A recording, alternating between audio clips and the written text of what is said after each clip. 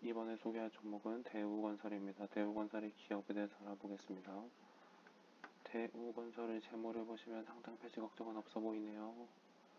대우건설은 도로, 철도 등 사회 기반 시설을 건설하는 토목사업과 아파트 등을 건설하는 주택 건축 사업 등이 있습니다. 차트를 보시면 앞에서 박스권을 만들어준 이후에 박스권 상승 돌파 그리고 장기평은 지지를 받으면서 반등이 나와주었습니다. 반등 마신 딱 1005점까지 나와주었죠. 일단 그렇기 때문에 일단 이런 우상향 추세가 있다고 보고 다시 한번 주가 우상향 추세 전 눌림목까지 하락할 가능성이 있습니다. 대략 이 정도 구름대 위에서 지지를 받아준다면 좋겠죠. 여기 지지 받아준다면 반등으로 다시 한번 여기까지 노려볼 수 있겠으며 구름대 이탈하게 된다면 시간은 좀더 걸릴 것으로 보여집니다. 좀 많이 걸리겠죠.